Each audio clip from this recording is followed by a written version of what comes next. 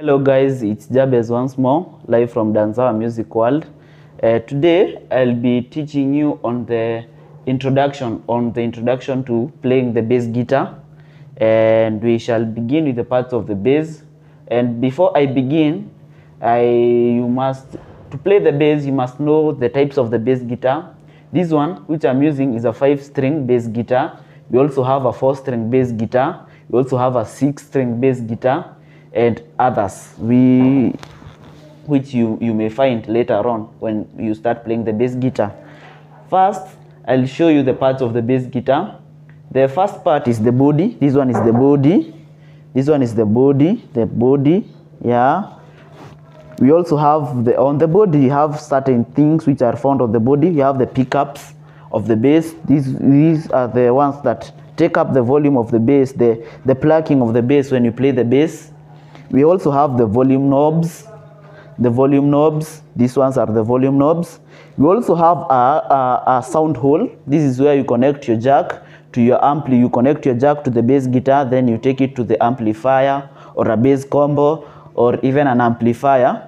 We also have the uh, uh, certain ports where you you, pl you you place your strap your strap holes where you can connect your strap this one you have this one on the upper side of the bass you also have this one on the side of the bass yeah this one and this one. This is how you connect your strap.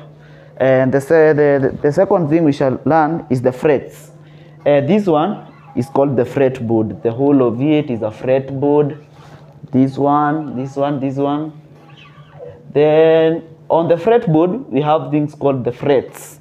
This one is the first fret. This one the whole of it this one is the second fret, the third fret, the fourth fret, the fifth fret up to the 25th frets, the 25th fret. Yeah, sorry, the 25th fret. That's the composition of the fret body. Then you have the neck, the neck region. This one is the neck region. This one is the neck. The whole of it is a neck. Is the neck. Then you have the headstock. On the headstock, we have tuning pegs this is the ones the tuning pegs are the ones you use to tune your guitar.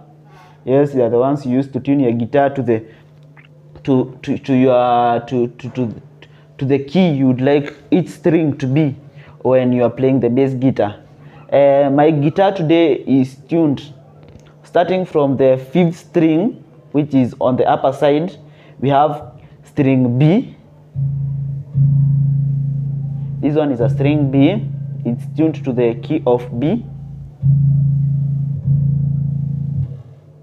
Then we go to the second, the fourth string from the upper side. It is my second. We, it is called the E string. It is tuned to the key of E. That's why it is called the E string. Then we go to the to the third string from the upper side, which is also my third string from the lower side which is an A string because it is tuned to the key of A.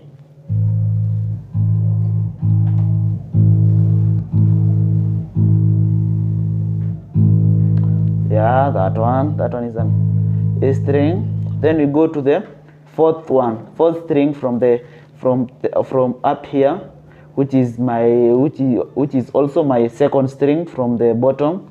It is a D string because it is tuned to the key of D.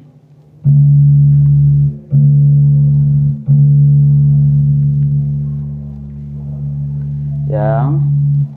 Then we go to the last one from the upper side, which is also my first string uh, from the from the lower side, which is tuned to the key of G. That's why it is called the G string.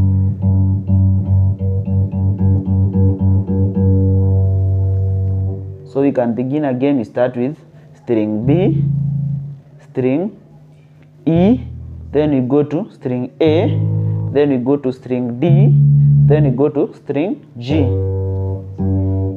Start from the bottom G, B, A, E, B.